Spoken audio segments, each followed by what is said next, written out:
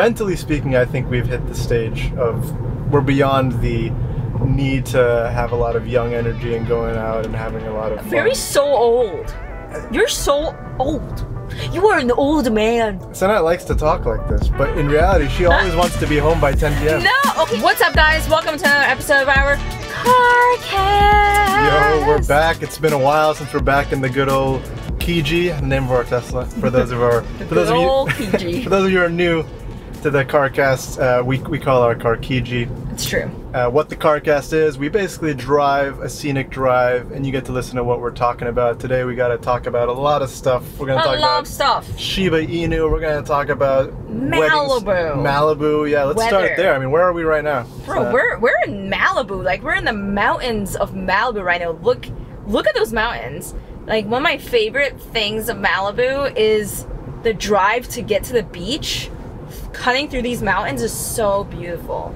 honestly, yeah. Like we're down. This is Malibu Canyon Road, Mm-hmm. and I like to think of Malibu as sort of my personal therapist. I don't, you know, I, I- you know, therapy is is something, but like for me, it's just like when you get when you go in the mountains.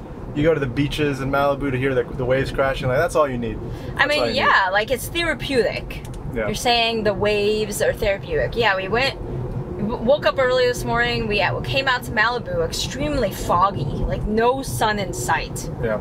And it, I think it said it was like 57 degrees. We're doing our hike. We went to the beach in this gloomy weather, and we're like, bruh, Malibu weather is like random.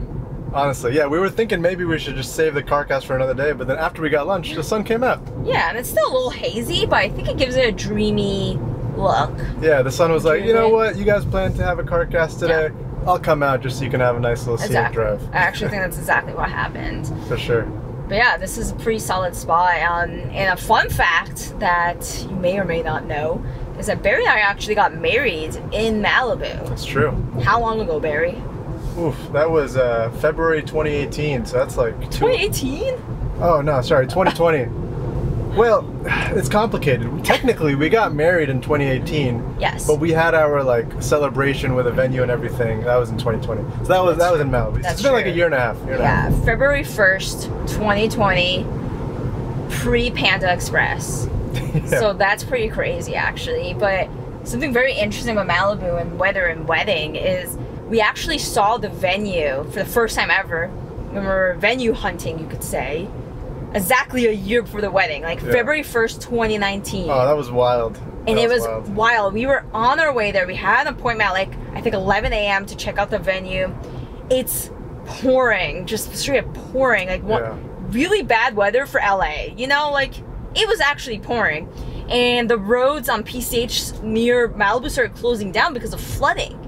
This was uh, this was making national headlines. This was Yeah. a time when like California and. SoCal there was a bunch of fire, fires, a bunch of mudslides. Malibu houses like burned down. Remember, like Yeah. Kim Kardashian, Miley Cyrus, that whole thing. Yeah, and not only the fires, like the mudslides of like Yeah. the, the rains coming down after the fire had all the mud like just pouring down, and it was causing a lot of road closures, a lot of difficulties. Yeah. Yeah, and we were our, We're just driving it. Our wedding venue was like right in the middle of all yeah, this. because the wedding venue was on the beach, right? And it was like right, basically like imagine like the venues on the beach. All the mountains behind it is where those fires were. Yeah, So we show up at the venue and we're like, okay, it's raining. A little alarming because we're planning on getting married on this day next year. What if the weather's like this? And then, like, you know, we're seeing the um, balcony of the venue, which, you know, is like on the beach. You can see the water. And we look and we're like, wow, very nice. Look to our left. Huge mudslide pouring down from the mountains into the water. Like, the Yeah. biggest mudslide of all time, just pouring into the ocean. I was like, oh. yeah. It was. it's like you know, thought, I'm sure you know the thoughts that go in our mind are like, well, if our wedding was today, it wouldn't happen. Yeah, would like that be would be canceled. canceled. Yeah, And so, like, should we take the risk and have it next year, and then hopefully it's gonna be all right? yeah, Luckily, we did. Alhamdulillah, things worked out. Yeah. Weather was good. yeah. The weather it was But- 80 and sunny that day, complete 180 from before. But it was just so interesting. Like we're talking, we go to the venue. We're talking. We had a wedding coordinator who was there, the venue owner who was there. They were just talking about all the fires, and I was like, "Damn, you live in Yeah. LA? Like, didn't see any of that." You should also tell the story of across the street of our venue. There was a Starbucks which holds a heavy place in Sanaa's heart because she Oh. lost some good stuff there. What'd you lose? Oh my god. I think th- this was my first time visiting you in LA, I think. So I think it was like 2018, I want to say. Like when Yeah. Barry first moved here, I came out here to visit him. You know, we're doing all the spots. Every day is a new LA gem. And Malibu was one of the best spots. And I'm like, wow, what an amazing place. I'm like, Barry, I have to pee. Barry's like, okay, yeah. yeah. And so I found this Starbucks, yeah. and you go and pee. go and pee. I bring my pouch with me. What's in this pouch, you may ask? Some important things are in this pouch. Okay, one, I had my passport, unknown why. Like, I did not need passport to travel, so why did I randomly have it on me? Don't know. Yeah. And $500 in cash in this pouch. Yeah. And this was a pouch that, for reference, this pouch, I used it previously when I went abroad. This was my emergency cash. And I realized I also wanted to get a drink at Starbucks, and I only had my cash on me, so I brought the pouch with me. And I'm like, okay. And then I go and pee. And then what happens? I just forgot about it. I forgot about it, but did I know I forgot about it? No. No, no, no, no. It's a, a whole day pass. The next day, Barry's at work, and I'm just out here having a good time by myself. Now I'm in Beverly Hills, just taking out Virginia Drive. And then I'm like, oh, I'm gonna deposit that cash now because I don't want to carry all that cash. Looks in bag. Nope. There's no pouch. I'm like, oh, I'm missing the pouch. Okay, let's not panic. Maybe I left it in the apartment. I panic regardless. Do not find it anywhere. Realized later that I left in the Starbucks the previous day. Yeah, I couldn't believe it. I was like, who carries a pouch with I was going to deposit it. with all this money cash I was and your planning to passport? deposit. The passport felt random. Like, why was that there? Why was that there? So in reality, it was five hundred dollars plus. I just renewed that air that passport, so it was five hundred plus the one sixty five to renew it. Yeah. And so it was a big L. and then two years later we get married there. We get married across the street. Yep. yep. And another fun fact is if any of you people have watched Hannah Montana, the house that Hannah Montana was filmed in was right next door to our venue. So there are a lot of cool fun facts like that. I'm like Malibu's just like a great place. I I would love to live here. I'm trying to convince Sure. I'm trying to convince Sanaa to, to let us live here for a year I I will allow it. because it'd be such a nice experience. Like it's isolated from the hustle and bustle of LA. The Isn't that the problem though? The population of Malibu is wild. I yeah, thought guess it was. it. Guess right now. Yeah, I guess. Okay, enough guessing. All right, it's mm. twelve thousand people. It's not. 12,000. It's not big. It's like It's almost a small small. town. Yeah. And you know, you have you have a lot of these private beaches. You have a lot of isolation away from all of the noise, a lot of the light pollution, a lot of the noise pollution that comes from LA. And it's a nice little private area, and that just sounds so great. But like, isn't the isolation the problem? Like, when I think about places I want to live, I, as a young person, um, I would like to live somewhere that's a little bit not popping per se, but just has more stuff. Like, bro, ag- I agree, but like you know, we've we've had that. We've lived kind of in the middle of LA for a couple years now. I mean, know, we, isolation's for people who are like in their 40s or 50s who just are over it. I think we've We're- hit that. I think we're 25 and 24. mentally speaking, I think we've hit the stage of we're beyond the need to have a lot of young energy and going out and having a lot of fun. Very so old. You're so old. You are an old man. Sanaa likes to talk like this, but in reality, she always wants to be home by 10 p.m. No, okay, first She of all, wants that has to nothing to do with by 10 p.m. isolation, though. Yes, I like being home early, okay? But it has nothing to do with, like, where I'm. Like, listen, I like going to Barry's Boot Camp. The, the nearest Barry's Boot Camp is only a four minute drive. Barry once showed me some apartment in Malibu, and I was like, okay, let me see where Barry's Boot Camp is. 30 minutes away. I'm never gonna go. There's no way I'm ever These are gonna go. small things. These are small things. Trader Joe's, 25 minutes away. I think, uh, hope, you know, let, let's see how the next few months go, and who knows, maybe we'll do more car casts in the Malibu area because we live there. We'll see. You never know. Yep. I just I just feel like you want to be old right now. The isolation matters. Also, because it's like only 14, what'd you say, 14k people or 10? 12K, 12,000. Well, considering it's only 12k people, there's not, like, the apartment real estate market is limited. there's not that many places to live. the Because best, it's the best, like- the best things in life are hard to find. Okay.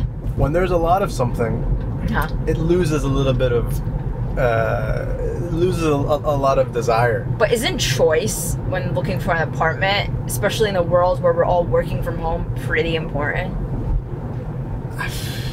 And the limited real estate only means that it's gonna be more pricey.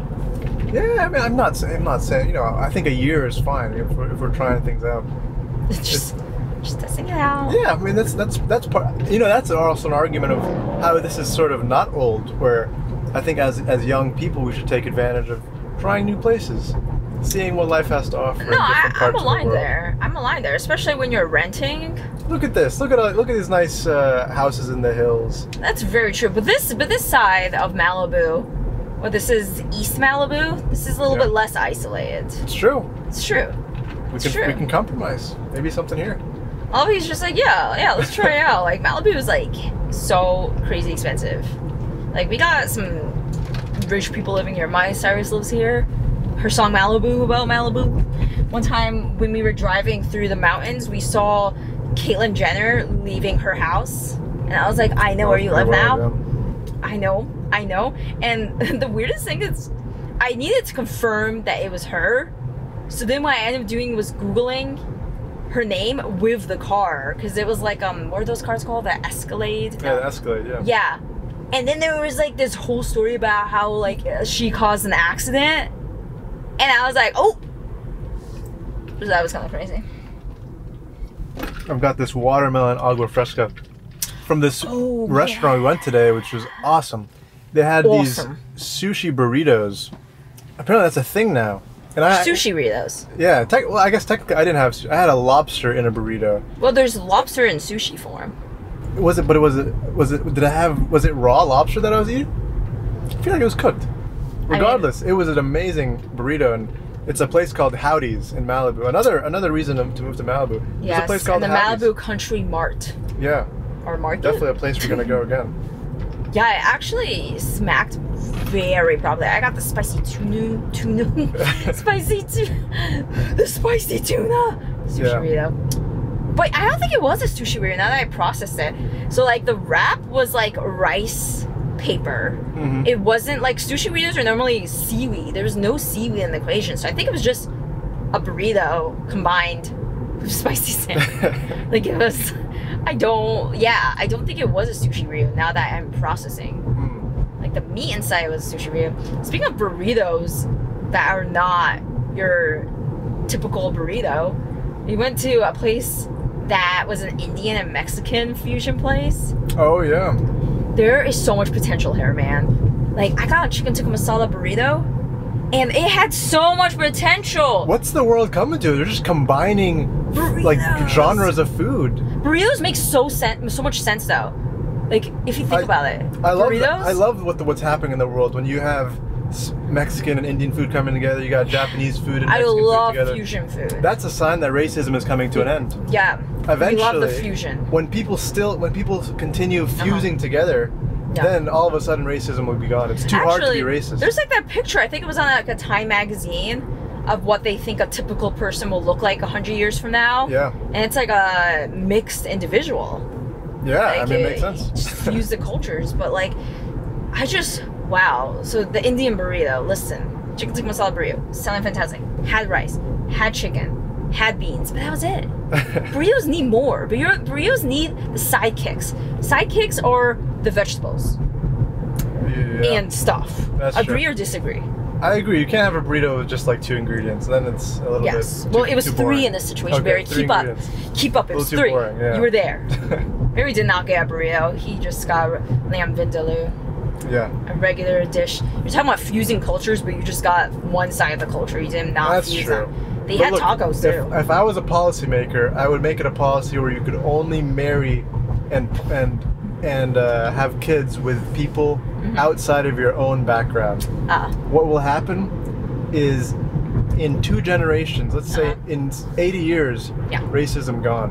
Everyone's combined. All of a sudden, it's too hard to be racist. Uh, you know, Barry's Barry. Problem solved. Barry really thinks in simple terms. He's like, "Yep, that's it. Look That'll at- end it all." That, that's it. Look, look at me. When I come from two two backgrounds, Yeah. people can't be racist to me. It's like, Because they're like, like, what are, what are you? you? I can't. I don't know how to make fun of you. It's like you know, They're like. I don't know what you are, so I'm just gonna keep it there. But instead, they say something like, "So, what are you?" I That's- I've gotten asked that question before. They're just like, "What are you?" I'm like, That's, "That's a like a deep question. That's, That's a a, deep question. question. No, it's deep. Yeah, Like, what are you? yeah, It's hard to answer if you think about it. that's true. You're just thinking in simple terms now, but you know, if that if that's what it takes. Let's let's talk Shiba Inu. Sanaa, have you heard of Shiba Inu? From you, yeah. I haven't heard about it from you. It's a big talk in, in the news these days. the big I'll, talk. I'll give a nice little uh, short synopsis of what it is. It's a cryptocurrency, and uh, you know, uh, most people by now probably know what cryptocurrency is. Never heard of it. But it's a it's a digital currency that people are treating as investments. Uh, and Shiba Inu is this new thing that was sort of created as a joke, and Aren't they all? yeah, I mean, so basically there was this there's this one guy who invested eight thousand dollars in August of last year into this thing called Shiba Inu, which is a basically a token, a digital currency, if you will, and now it's worth over five billion dollars, which is wild, because the price of it just keeps going up, Wild. and over the past like couple of weeks, it's already like over. Uh, it's over double just in the just in the matter of a few days. So if you put in, let's say, a thousand dollars, it comes out as two thousand dollars in a week, and it's crazy. It's crazy. Uh, goes to show that you can be a joke and still make it. yeah, I mean, I mean, imagine, imagine you had you were someone who like started a lot of businesses, a self-made man, and you like you know you you you, you got all these. You, you know, you, you you amassed a lot of wealth, and it's like, wow, I worked really hard. And then you see the guy who's like, yeah, I just put some money into this joke coin, and now it's it's worth more than anything you'll ever make. It's kind of funny when you think about it. We, we live in an interesting time now. Yeah, it's like a very interesting time where people like that who take the risk and just really out here doing okay. Yeah. What what I don't understand is how people are still buying lottery tickets when when you can well, a lottery ticket is what a few dollars to buy yeah versus investing like a thousand dollars. you don't you can invest a couple of pennies but when when people the, the odds of, of lottery tickets are so small Mhm. like a fraction of a fraction of a fraction of a Mhm. percent to Yeah. get anything uh, it's like gambling at its worst at its worst like gambling in general Uh-huh. is, is wrong of course and bad but True. but when it's like when the odds are so against you it's like what's the point True. um, and I think people are maybe starting to see cryptocurrencies like these as sort of a, a way out, an escape, uh, you know, a chance. Yeah. I agree actually. I think I think people are getting more and more educated on crypto now. Like back in like 2016 when like Bitcoin was like a thing, people were like, "What?" Like, I feel like a lot of people are still scared of it. But I Yeah. think now it's getting more normalized. Oh, for sure. All these joke coins are out here with Elon Musk just snap of a finger defining the value of it. Yeah, I mean the positive is that it increases exposure for cryptocurrency in general, which I think will yeah, progresses the progresses the economics of, of the future of the world. Like you got you got countries now like El Salvador, which are making uh, El Salvador made Bitcoin its national currency. yeah, like how's it doing now? Like, Because uh, Bitcoin is- economy. is more stable than their no, no, actual but I'm saying, how is their economy doing now? They chose to do that because. Well, it was a recent thing. I don't think it's the effects are really. Mm, It's too early to tell. interesting. That is pretty interesting. But say. imagine. I mean, I think. Uh, I think hundred years from now, you'll see a lot more countries, and who knows? Maybe maybe Bitcoin will become the, the normal currency over True. U.S. dollar and That's other, crazy other popular currencies. It's like crazy. Yeah. Wow. Are we still in Malibu? Yeah, we're still in Malibu. Still we're in now Malibu. on the east side of Malibu, going to intersect with Santa Monica. Not quite yet, but soon. But soon. All right, Yeah. all right. Well, this has been a good time. We love Malibu. Yep. We're hitting Sunset Boulevard. Our second car cast intersected at this exact point. Whoa, this is where. So we we're taking full circle.